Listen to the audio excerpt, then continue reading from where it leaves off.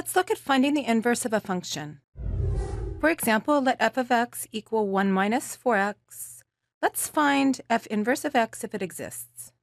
Remember that the inverse of a function is defined as follows. y is equal to f inverse of x if and only if f of y is equal to x. And remember here, be very careful with this notation. This does not mean 1 divided by f. It's just the notation for the inverse function. So notice what we're doing here is we are switching the roles of x and y and then solving for y. And that will give us f inverse of x. That is, let's let y equal f of x, or 1 minus 4x. And now we'll interchange the roles of x and y. So wherever we see a y, we'll put an x, and wherever we see an x, we'll put a y. And then we'll solve for y. So we have 4y is equal to 1 minus x. And then dividing both sides by 4 gives us that y is equal to 1 minus x divided by 4. Or dividing both terms in the numerator by 4, we get y is equal to 1 fourth minus x over 4. And we were uniquely able to solve for y, so this is f inverse. So f inverse of x is equal to 1 fourth minus x divided by 4. All right, let's look at another example. Let f of x equal x squared plus 1. Let's find f inverse of x if it exists. Again, we'll let y equal f of x, or y is equal to x squared plus 1. And then we'll interchange the roles of x and y, which gives us x is equal to y squared plus 1. And then we'll solve for y.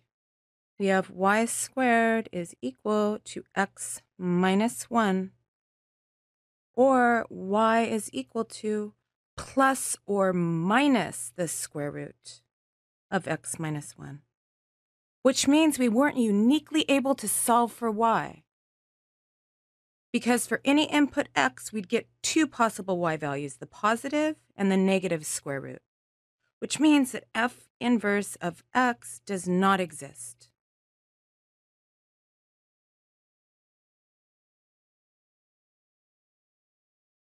Which shouldn't surprise you if you think of the graph of this function. It's a parabola with vertex at 0, 1, opening upward, which isn't a one-to-one function, is it?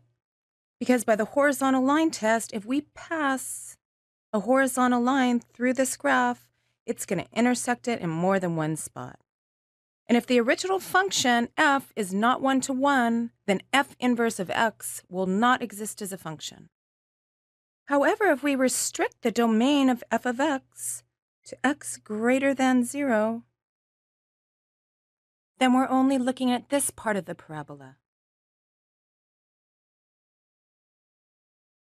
Therefore, on that restricted domain, f is one-to-one. So f on the restricted domain will have an inverse.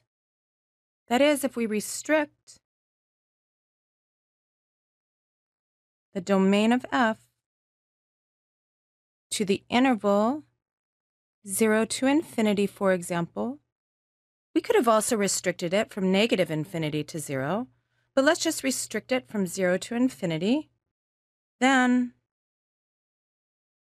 f will be 1 to 1. And therefore,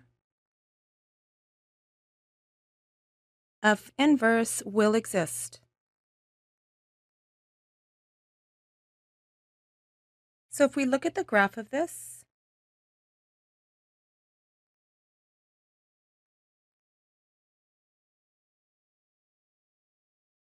here is f of x on the restricted domain.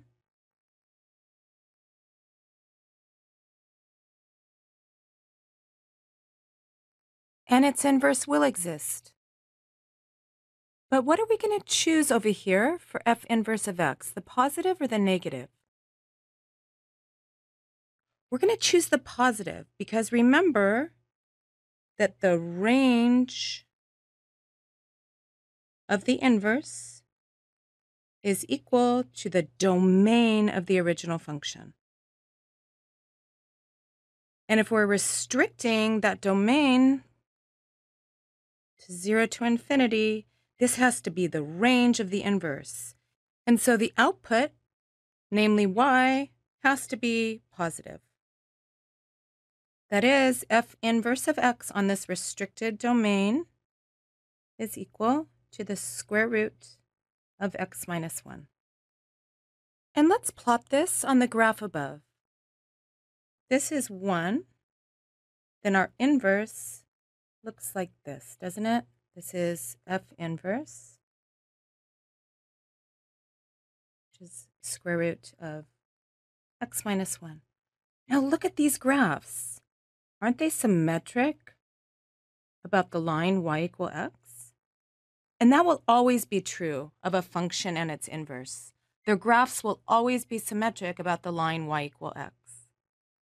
And you should graph the two lines from example number one. You'll see that their graphs are symmetric about the line y equal x. And this is how we find inverse functions. Thank you, and we'll see you next time.